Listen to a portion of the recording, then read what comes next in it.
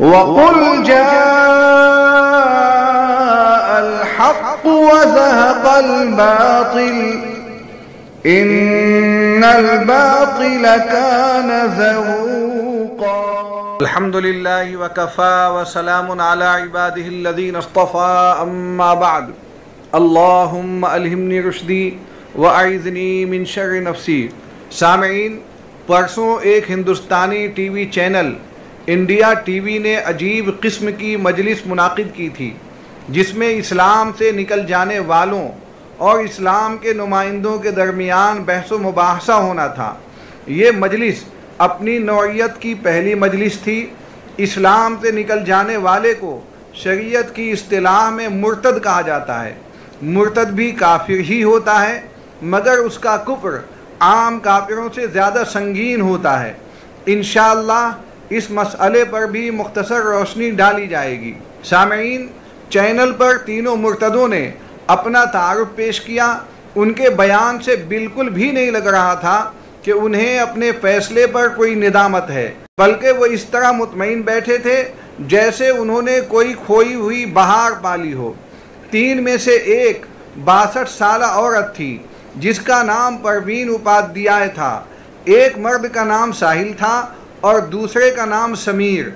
इन तीनों से बहस के लिए जिन तीन मुसलमानों को पेश किया गया था, उनमें से एक तो जफ़र सरेश वाला का नाम है, दूसरा अथर देहलवी का और तीसरा तस्लीम रहमानी का। मुर्तदीन की तरफ़ से पेश किए जाने वाले एतराज़ात के इन तीनों ने क्या जवाब दिए, उन पर तबसरा थोड़ी देर में। सामीन पहले मुर्तद की तारीफ़ सुनिए और काफिरों की किस्में भी समात फरमाइए। अकायद नज़रियात के एतबार से गैर मुस्लिम की सात किस्में हैं। नंबर एक, खुला काफिर। नंबर दो, मुशरक। नंबर तीन, दहरिया। नंबर चार, मुअत्तिल। नंबर पाँच, मुनाफिक। नंबर छः जिंदीक जो मुलहिद और बातनी भी कहलाते हैं। नंबर सात, मुर्तद। खुला काफिर, जिसे काफिर मुतलक भी कहा जाता है। वो है जो अलल ऐलान इस्लामी एतक़ादात का मुनकर हो और अपने आप को मुसलमान बिरादरी से अलग तस्वुर करता हो, जैसे हिंदू, सिख, यहूदी और ईसाई वगैरह। मुशरक मुशरक वो है जो चंद मबूदों का कायल हो, या अल्लाह ताला की ज़ात के अलावा किसी हजर शजर या मूर्ति वगैरह को भी नफ़ो नुकसान का मालिक समझता हो।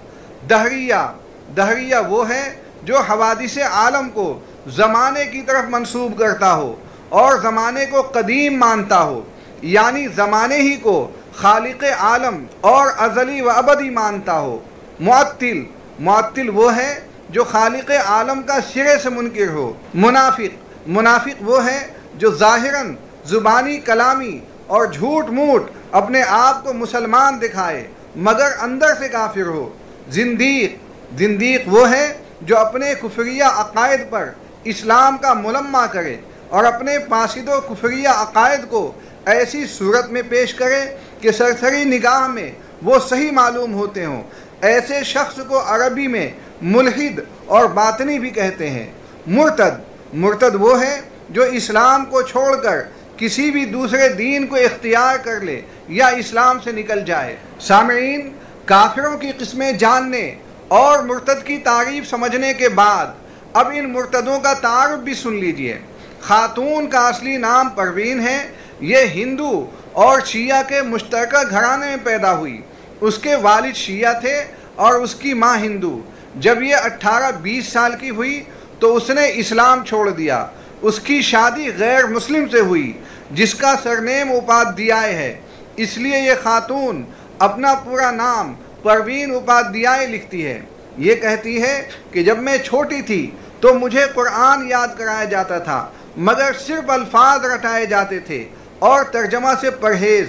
मुझे मुताले का बड़ा शौक़ था। इसी शौक़ में मैंने बुद्धिज़्म को भी पढ़ा। मैं कई बरसों तक इस्लाम से निकलकर लामजहब थी। जब मैं ऋषिकेश गई तो वहाँ समझ में आया कि हिंदू धर्म ही बेहतर है। उसे ही कबूल कर लिया और अपने बच्चों की भी घर वापसी कराई।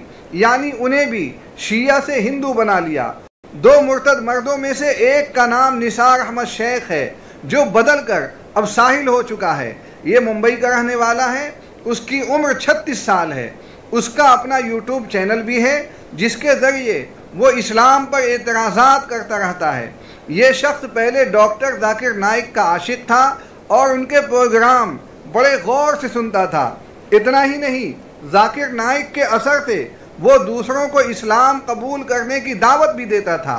कोरोना लहर के दौरान उसने इस्लाम छोड़ने का फैसला किया, मगर किसी दूसरे धर्म को कबूल भी नहीं किया।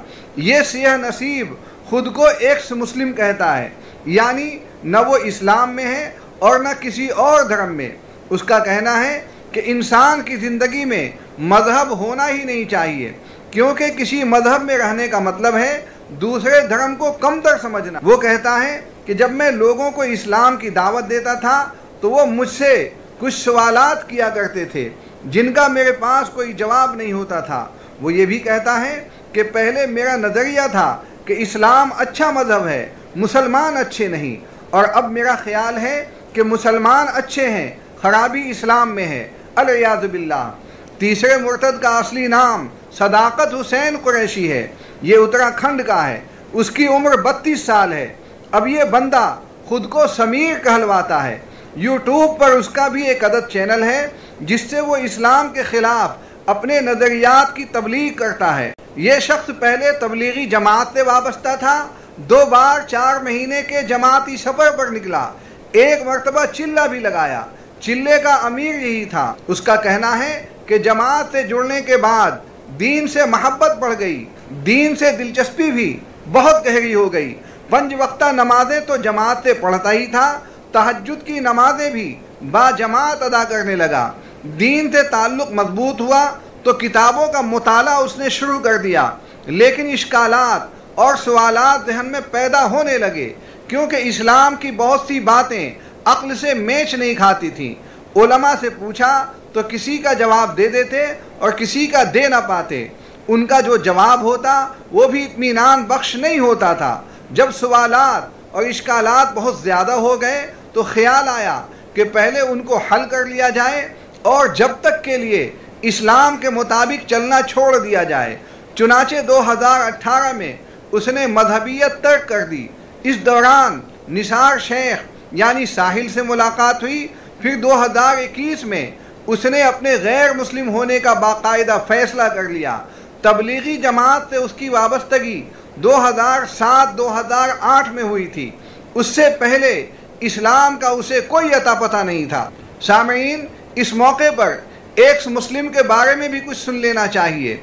हिंदुस्तान की जनूबी रियासत केरला में एक तंजीम है, जिसका नाम है एक्स मुस्लिम्स ऑफ़ केरला।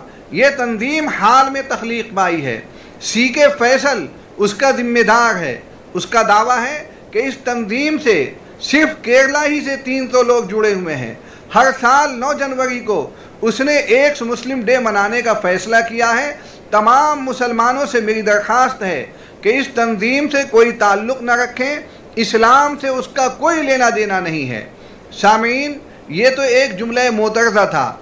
इन तीनों मुर्तदों का तारफ मैंने अपने जुमलों में पेश कर दिया है। अब ज़रा उनकी अपनी आवाज़ में भी सुन लीजिए, ताकि सनद रहे। हमारे साथ तीन ऐसे लोग जो कि एक मुस्लिम फैमिली में पैदा हुए और ज़िंदगी के किसी मोड़ पर इनको लगा कि ये उस धर्म का पालन नहीं करना चाहते और इन्होंने इस्लाम को त्याग दिया। कुछ ने दूसरा धर्म अपना लिया, कुछ ने केवल इस्लाम छोड़ दिया। आज वो अपने आप को एथीस्ट कहते हैं या एग्नोस्टिक कहते हैं। तो मैं आपका परिचय करा रहा हूँ। हमारे साथ निसार अहमद शेख हैं। निसार मुंबई के हैं और 36 साल आपकी उम्र है। कब आपने कितना वक्त पहले आपने छोड़ा था इस्लाम?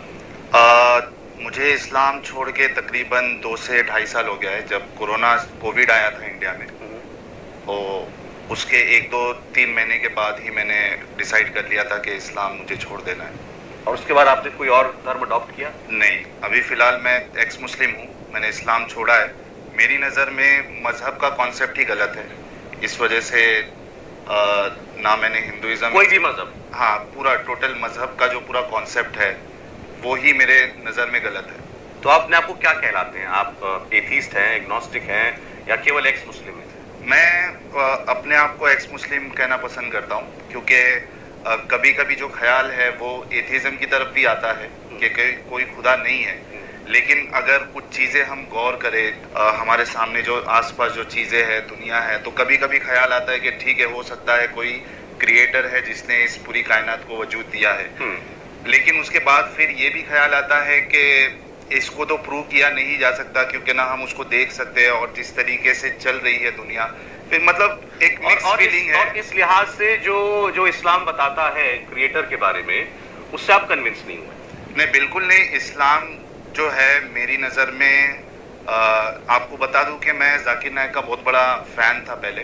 जाकिर नायक जो प्रीचर है? जी अच्छा। जाकिर नायक एमबीबीएस तो उनका मैं बहुत बड़ा फ़ैन था और उनका स्टाइल बहुत पसंद था। तो अगर कोई वो उनको सुनता है तो उनके अंदर भी जो है वो दूसरों को इस्लाम की दावत देने का कीड़ा आ जाता है यानी एक शौक आ जाता है। तो उस तरीके से हम लोगों को इस्लाम की दावत भी देते थे। तो वो एक जो साइड होता है हमारे पास, वो इस्लाम का एक पहलू होता है, जो हमें मौलाना बताते हैं, मौलवी बताते हैं। लेकिन जब आप स्पेशली आप जब किसी को दावत देते हो, यानी अगर आप एक हिंदू के पास जाते हो और उसको कहते हो कि इस्लाम सही है तो होता यह है कि आपको इस्लाम को सही बताने के लिए आपको जो सामने वाला जो मज़हब को फॉलो कर रहा है, उसको कहीं ना कहीं आपको नीचा दिखाना पड़ेगा, ठीक है? वरना लोग इस्लाम क्यों कबूल करें? तो और होता यह है कि अगर आप किसी को उसकी खामियाँ बताओगे उसकी गलतियाँ बताओगे तो ज़ाहिर सी बात है वो भी आपको आप, आपकी गलतियाँ बताएगा। तो जब मेरा डिस्कशन होता था डिबेट्स होती थी आ, अलग अलग फोरम पे आ, अगर कंपनी में काम कर रहा हूँ तो वहाँ कोई कलीग है उससे बात कर रहा हूँ मैं या फिर तभी याहू चैट वो सब चलता था या फोरम होते थे वहाँ मेरा डिस्कशन होता था। तो बहुत सारी चीज़ें जो है मेरे सामने आती थी जो इस्लाम पे आ, सवाल उठाते थे तो आपने इंट्रोस्पेक्ट किया उसके जी, चलिए वो डिटेल में डिटेल में उस पर मैं आगे जाऊँगा। तो बहरहाल आपकी वजह आप एक वक्त में आप जाकिर नायक से इंस्पायर्ड थे आप चाहते थे और कोशिश भी करते थे कि आप और लोगों को पूरी दुनिया को इस्लाम कबूल करवाना था क्योंकि आप उसमें बिलीव करते थे। हाँ क्योंकि और वो मतलब ऐसी कोई उसमें नीयत गलत नहीं होती थी। नीयत ये होती थी कि भाई मेरा जो भाई है वो हमेशा हमेशा जहन्नम में जलेगा। जो जो जिसने इस्लाम कबूल नहीं किया। नहीं किया है तो मेरा फ़र्स्ट अब ये तो बड़ा ये ये ये बड़ी ड्रास्टिक आपकी जर्नी है जो बदल गई 180 डिग्री टर्न जिसे कहते हैं ज़िंदगी का वो आपकी लाइफ में आ गया। परवीन जी हमारे साथ हैं। परवीन जी अब परवीन उपाध्याय हैं। आप मुस्लिम फैमिली में पैदा हुई आपका माता पिता का दिया गया नाम परवीन था। बासठ साल मैम की उम्र है। आप कितने साल की उम्र में आपको रियलाइज़ हुआ कि मैं जिस धर्म में हूँ मुझे वो ठीक नहीं लगता।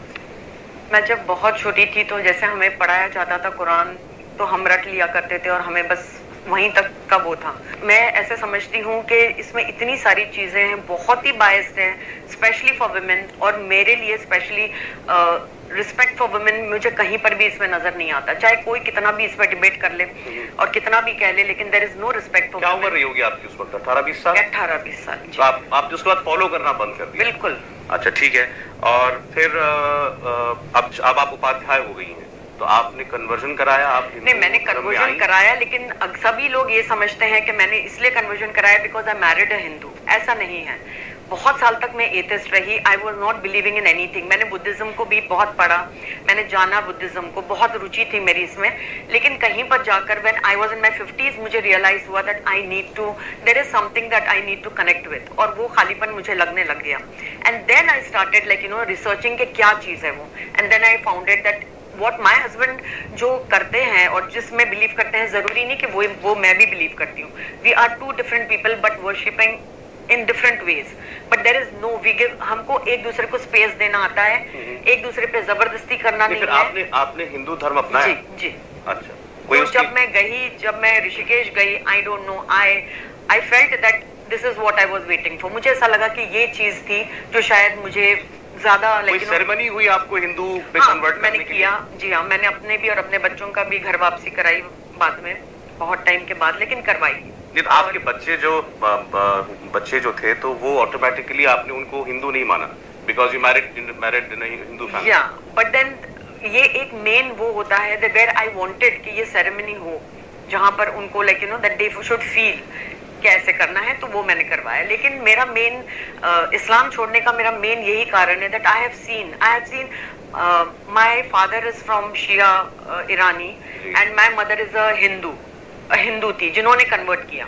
आपकी मदर हिंदू से हाँ, मुसलमान हुई। मुसलमान हुई। अच्छा। तो मैंने मैंने दोनों तरफ़ का लाइफ देखा है जो एक मुस्लिम लोगों का जो एक है एक ईगो एंड हम बहुत डिटेल में बाद में आएँगे। और एक बहरहाल आपने आपने मुस्लिम फैमिली में रहकर रहकर भी- जहाँ- पैदा हुई वो। देख लिया। शादी के बाद आपने हिंदू परिवार में रहकर नहीं मेरे ननिहाल भी तो हिंदू ही था नाप ननिहाल भी हिंदू ही थी। चले ठीक।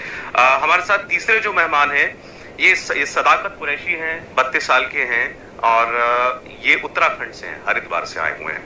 और अब अब ये पॉपुलरली समीर के नाम से जाने जाते हैं और आप भी अपने आप को एक्स मुस्लिम समीर कहना पसंद करते हैं। जी। तो थोड़ा बताइए अपने बारे में आपने कब अ, सोचा या आपको कब लगा कि नहीं अब मुझे इस फेथ में नहीं रहना इस्लाम में नहीं रहना? एक्चुअली जब मैं अपनी एजुकेशन कर रहा था तो उसी के साथ में मैं तबलीगी जमात के साथ कनेक्टेड हुआ इन 2007 और 8 और वहाँ कनेक्ट होने के बाद मुझे इस्लाम से जुड़ने और उसे जानने का मौका मिला। उससे पहले मैं कभी मदरसा या फिर इस तरह की एजुकेशन मैंने नहीं ली थी।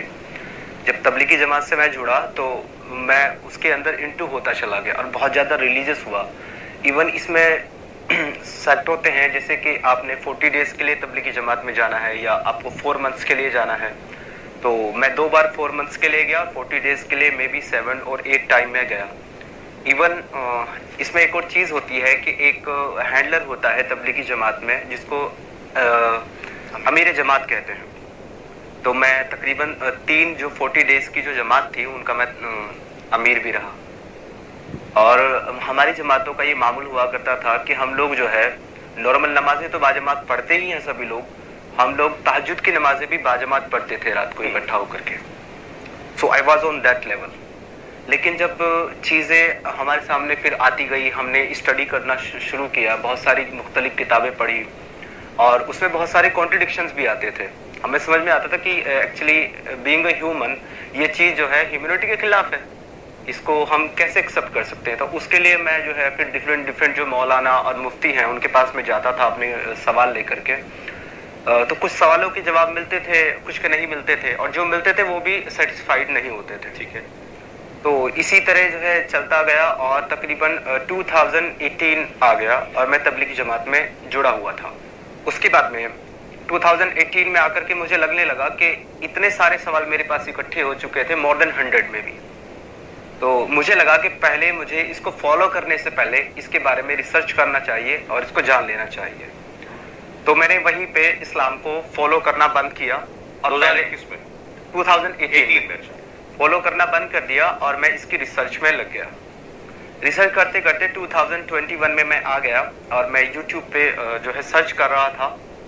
तो मेरे सामने एक वीडियो आया, एक चैनल है ज़फ़र हेरिटिक के नाम से, उसका एक वीडियो आया, मैंने वो देखा और जब मैंने वो वीडियो को देखा actually that was based on sex slavery ये एक पार्ट है इस्लाम का सेक्स स्लेवरी जो कि अरबिक एरा में होता था प्री इस्लामिक में।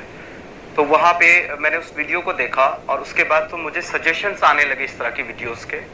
तो फिर मैं इसी कड़ी में एक्स मुस्लिम साहिल यानी कि निसार भाई के चैनल के ऊपर मैं पहुँचा और इन्होंने फिर वहाँ मुझे अपने प्लेटफॉर्म पे जगह दी इन्होंने मुझसे बात की और आगे फिर इन्होंने मुझे जो है ना उनके बारे में सजेशन दिए। तो जो मेरे एक्चुअली कॉन्ट्रडिक्शन जो मेरे एतराज़ थे जो मेरे सवाल थे वो बहुत ज़्यादा मैच कर रहे थे इन लोगों के साथ। और सभी लोगों के साथ। और ये जो है ना, इस पे रिसर्च करते करते फाइनली 2021 में सामीन इन तीनों मुर्तदों की खास बात यह है कि इर्तदाद से पहले ये सब अलग अलग फिरकों से ताल्लुक़ रखते थे। परवीन उपाध्याय शिया कम्युनिटी से थी, निसार अहमद शेख उर्फ़ साहिल गैर मुकलद फ़िरके से था, और सदाकत हुसैन कुरैशी उर्फ़ समीर तबलीगी जमात थे ये लोग कहते हैं, हमने इस्लाम छोड़ दिया और मैं ये कहता हूँ कि इस्लाम ने उन्हें क़ै कर दिया, बेशक हिदायत और जलालत अल्लाह के हाथ में है। मैं यहदिल्ला फला मुजिल्ला व मैं युजलिल फला हादियला। उन मुर्तदों से बस इतना ही अर्ज़ करना है कि जिस तरह इस्लाम ने तुम्हें अपने से काट दिया, इसी तरह तुम्हें भी चाहिए कि खुद को एक मुस्लिम कहना भी बंद कर दो। तुम्हारे इस रवैये से तुमसे नावाकिफ लोग धोखा खा जाएँगे और तुम्हें मुसलमान ही समझेंगे। सामीन, अब आइए उन लोगों का तारुफ कराएँ, जो इस्लाम की नुमाइंदगी और तर्जुमानी करने बैठे थे। उनमें से एक तो ज़फ़र सरेश वाला है। ये जनाब गुजरात के अहमदाबाद से ताल्लुक़ रखते हैं। बड़े ताजिर हैं। मौलाना आज़ाद नेशनल उर्दू यूनिवर्सिटी हैदराबाद के सबक वाइस चांसलर हैं। भाजपा से उनकी बड़ी गाढ़ी छनती है। नरेंद्र मोदी के नहायत करीबी समझे जाते हैं। याद होगा कि मुस्लिम पर्सनल्ला बोर्ड के जयपुर इजलास में ये बिन बुलाए मेहमान बनकर पहुँच गए थे तो असदुद्दीन ओवैसी भड़क गए। उसके बाद माइक से ऐलान करना पड़ा कि जो लोग मदू नहीं हैं, वो यहाँ से चले जाएँ। मजबूरन उन्हें बेआबरू होकर निकलना पड़ा था। दूसरे नंबर पर जनाब तस्लीम रहमानी हैं। ये असलन मेरठ के रहने वाले हैं। 2001 में मुस्लिम सियासी कौंसिल की बुनियाद उन्होंने ही डाली। ये आल इंडिया मुस्लिम मजलिस मुशावरत के रुकन भी हैं। मशहूर सियासी और समाजी शख्सियत के मालिक हैं। उनके दादा जैन हिंदू थे। बाद में उन्होंने इस्लाम कबूल कर लिया था। तीसरे साहिब जनाब अतहर देलवी हैं। ये बरेलवी धर्म के रहनुमाओं में शामिल हैं। अंजुमन मिनहाज रसूल के चेयरमैन हैं। सियासी बयानात देते रहते हैं। हुकूमत की खुशनूदी के लिए ये भी जाने जाते हैं। सामीन, मुर्तदों के साथ इन तीनों की ये बहस एक घंटे से ज़्यादा चली। मुर्तदों में ज़्यादातर निसार अहमद शेख, यानी साहिल बातें करता, उसके पास लैपटॉप भी था। कुरान बड़ा साफ़ और तजवीदी लहजे के साथ पढ़ता, हदीस के हवाले भी देता। नंबर दो पर गुफ्तगु समीर की होती रही। रही परवीन उपाध्याय तो बहस में उसकी शिरकत बराए नाम रही। मैंने ये पूरी बहस बगौर सुनी है। सच्ची बात यह है कि मुर्तदीन के एतराज़ात का इन नाम नहाद मुनाजरीन इस्लाम के पास कोई जवाब नहीं था। अतहर देहलवी तो हर एतराज़ के जवाब में हिंदू कौम की धार्मिक बातों को बतौर नज़ीर पेश करते और वो भी खालिश हिंदी ज़ुबान में। इस्लाम में जिजिया क्यों है? जब ये सवाल आया तो अतहर देहलवी ने सिरे से जिजिए का ही इनकार कर दिया। वो कहने लगे कि जिजिए का मसला जंगी माहौल से मुतालिक है, आम हालात से नहीं। फिर वो इसकी नज़ीर में जमाल अब्दुल नासिर को पेश करते रहे, यासिर अरफात को पेश करते रहे और उन लोगों के हवाले देते रहे, जिनके नाम अरबी पारसी वाले थे और उनकी बीवियाँ गैर मुस्लिमा थीं। यानी अतहर देलवी की नज़र में इस्लाम की तालीम वही थी जो गैर मुस्लिम बीवियों वाले नाम नहाद मुसलमान पेश कर रहे थे। एयादम बिल्ला देहलवी साहिब से कुरान की आयत भी सही पढ़ी नहीं जा रही थी। रहे तस्लीम रहमानी साहिब तो वो डॉक्टर इकबाल के शेर, तमद्दुन, तसव्वुफ, शरीयत, कलाम, बुतान अजम के पुजारी तमाम को बड़े अहतमाम से पढ़ते रहे और कहते रहे कि मुसलमान इन चारों में खो गए और कुरान को उन्होंने पीठ के पीछे रख दिया। गोया उनके नज़दीक ये चारों चीज़ें अलग हैं और कुरान अलग है। इयाजम बिल्ला वो ये भी कहते रहे कि कुरान में नासिक व मनसूख कोई आयत नहीं। पहले ये बातें इल्म कलाम में हुआ करती थी, जिन्हें बहुत पहले रिजेक्ट कर दिया गया। उनका ये भी दावा है कि हमारे लिए असल माखद सिर्फ़ कुरान है। हालाँकि हर मुसलमान जानता है कि हमारा माखद सिर्फ़ कुरान नहीं, हदीस भी है, उम्मत का इजमा भी है। इन तीनों से माखूज अक्ल क़यास भी है। अब से पहले मेरे दिल में तस्लीम रहमानी की बड़ी कदर थी, लेकिन अब पता चला कि वो हमारे असलाफ के मनहज फ़िक्र अमल से मेल ही नहीं खाते। जफ़र सरेश वाला कहते रहे कि तमाम धर्म अपनी अपनी जगह काबिल एहतराम है, और ये कि सबसे पहले इंसान होता है, उसके बाद मुसलमान या हिंदू होता है। यानी उनकी निगाह में पहला मज़हब इंसानियत है। इस्लाम और कुफर का नंबर उसके बाद आता है। हालाँकि ये नज़रिया सरासर इस्लाम के ख़िलाफ़ है। इस्लाम कहता है कि हर इंसान पैदाइशी तौर पर मुसलमान ही होता है। दूसरे धर्मों की तरफ़ उसका जाना वालदेन के असर से होता है। वो भी कहते रहे कि कुरान की कोई भी आयत मनसूख नहीं है। तो ये उनका मबलग इल्म था। ये लोग इस्लामी स्कॉलर कहलाते हैं और सूरत हाल ये है कि इस्लाम की बुनियादी मालूम ही उनकी गिरह में मौजूद नहीं है। सामीन, इंडिया टीवी की इस अजीब गरीब मजलिस में सामीन व नाजरीन की भी एक बड़ी तादाद मौजूद थी। मुसलमान भी, गैर मुस्लिम भी। उनमें कुछ वो भी थे जो अपने चेहरे बुशरे से आलिम मालूम हो रहे थे। मुस्लिम अवाम शायद ये देखने आए थे कि कुछ इल्म मालूमात उन्हें भी हाथ लग जाएँगी, मगर उनके दामन खाली के खाली ही रहे, क्योंकि देने वालों के पास भी कोई चीज़ नहीं थी। जब इस्लाम के तीनों तर्जुमान आए बाएँ शाएँ कर रहे थे और उनके पास कोई जवाब नहीं था तो सामीन बहुत परेशान थे, बहुत जज्बत हुए कि ये क्या हो रहा है। एक मौलवी साहब ने ज़बरदस्ती माइक पकड़ा और मुर्तदों के एतराज़ात का जवाब देने लगे। जवाब तो बहरहाल उनसे भी न हो सका, मगर गुफ्तु इस्लाम के तीनों इस्कालरों से ज़्यादा अच्छी की। सामीन अरबी का एक मकूला है लेकुल फ़न रिजाल यानी हर मैदान के लिए अलग अलग अफराद होते हैं। जो साइकिल चलाना जानता है, ज़रूरी नहीं कि वो जहाज़ की परवाज कराने में भी माहिर हो। खूबसूरत और ऊँची इमारतें बनाने वाले मेमार के पास कोई नहीं जाता कि आप मेरे दिल का ऑपरेशन कर दें। घड़ी सास के पास कोई ये फरियाद नहीं लगाता कि आप गन्ने से शकर और राब बनाकर दिखा दें, बल्कि हर मामले में रुजू उसके माहरीन से होता है। लेकिन दीन का मामला ऐसा है कि हर शख्स मुफक्र और माहिर शरीयत बना बैठा है और किसी भी वक्त किसी भी आलिम को खातिर में नहीं लाता और उनकी दीनी बातों को काटना अपना पैदाइशी हक समझता। मुसलमानों की तरफ़ से बोलने वाले अगर मुस्तनद आलिम होते तो उसका फ़ायदा इस मजलिस से कुछ ना कुछ हो सकता था। मगर गैर आलिमों की तरफ़ से इस्लाम का दिफा इल्म के हवाले से कोई मुमकिन नहीं। लिहाजा, इस तरह की मजलिसों में आवाम को नहीं जाना चाहिए। उससे ईमान कमज़ोर होता है, बल्कि ऐसी तकरीबात का शिद्दत से बाइकाट करना चाहिए। ऐसे चैनल का भी बाइकाट करना चाहिए। ये मुसलमानों को गैर मुस्लिम बनाने की एक मुनज़म तहरीक है। जैसे अंग्रेज़ी दौर में शुद्धि तहरीक चलाई गई थी। मगर क्या कीजिए, कुछ लोग हैवान कैमरा हैं। जब तक वो कैमरे के सामने नहीं आएँगे, उनकी जान नज़र की हालत में रहेगी। और जैसे ही कैमरा उनके सामने आ जाएगा, ज़िंदगी की लहर उनके वजूद में दौड़ जाएगी। ऐसे लोग सिर्फ़ चेहरा दिखाने और पैसा बनाने के लिए चैनल पर जाते हैं और सिर्फ़ पाँच हज़ार में नकद गैरत व हमीयत लुटा आते हैं। अल्लाह से दुआ है कि उम्मत को सही और गलत की तमीज़ बख्शे। और बिला वजह की मुफक्री से मिलत को निजात अता फरमाए। व आखिर दावाना अनिलहमदिल्ला रबालमीन